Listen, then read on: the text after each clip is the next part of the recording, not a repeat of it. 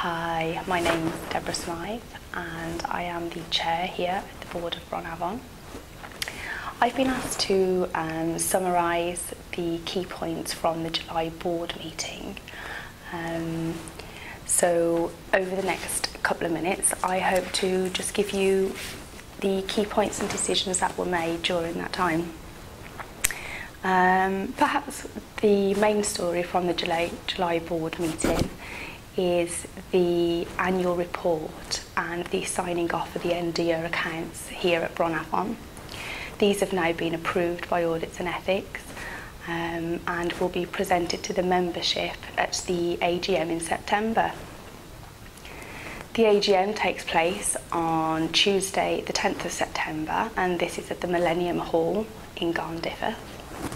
Um, and we hope to see some of you there. The second decision at the July board meeting was one which was a lot more difficult to make. Um, and that was the agreement to close the remaining three area offices here at Bronavon.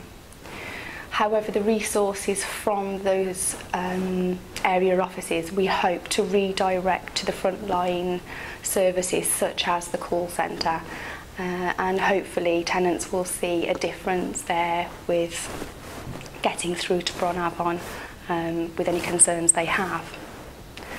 And the final decision that was made at the July board meeting was around the exchange policy for tenants, which is something the board have taken into consideration the benefit changes that are going to affect the tenants over the next months uh, and have decided as a result of that to review the policy and make it possible for more tenants to exchange easier.